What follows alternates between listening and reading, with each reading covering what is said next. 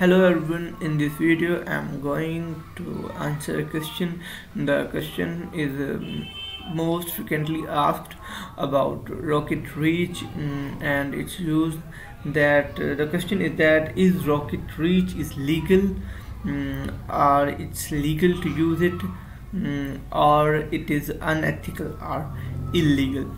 Uh, so the answer is that the RocketReach is a legal um, software which we use to search or retrieve emails of people and a company. RocketReach uphold strictly standards and is legally compliant with mine information using a combination of web crawl similar to the google and data mining algorithms such as entity recognition, email prediction, email addresses listed on our site are either found via entity uh, search or mm, predicted. For example, uh, we're searching uh, uh email of people, some name here, go for the search.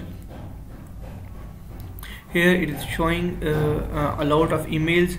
Um, mm, these are you can see that mm, on yahoo on gmail.com on uh, hotmail and uh, company mails and also personal mails. So rocket reach is a legal software to use which we use to retrieve or to um, find emails of people and emails of personal emails also so the answer is that the RocketReach is legal and is um, ethical and legal to use the rocket reach. Thanks for the watching this video